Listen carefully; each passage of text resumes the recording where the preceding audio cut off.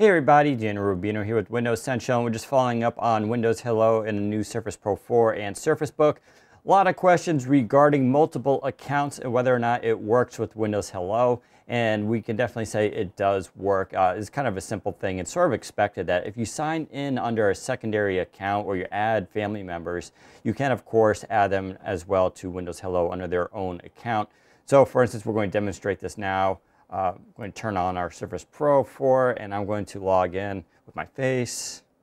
And you can see quickly it unlocks there. And now we're going to lock it again and we'll have Mark log in using his face and see what happens.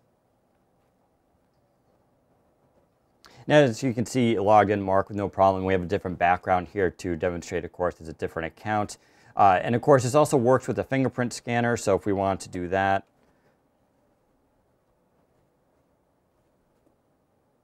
I can use my fingerprint and it too will unlock the device. And now we can try it with Mark to see if it works with his. And we're going to block the camera just so it doesn't use that. And it signed him in as well.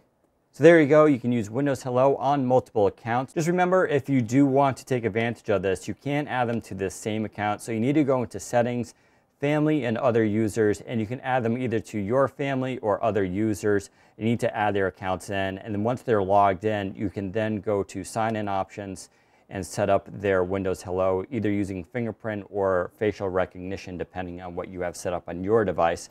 And then they'll be all set. They can just log in just by looking at it, and you can have multiple accounts do it at the same time. It's pretty cool. So you may be wondering what happens when you have two accounts, both with Windows Hello enabled, and both those people stand in front of the computer.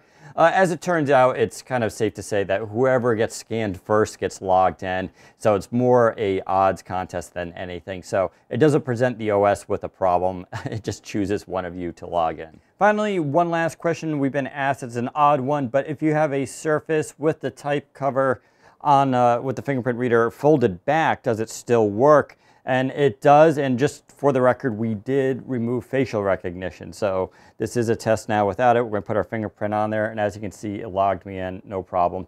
So if you do hold it this way, you can set up your fingerprint reader to work as well. There you go. If you have any more questions regarding Windows Hello and these technologies, just head to Windows Central and ask us. We'll take care of it. Thanks for watching. Take care, everybody.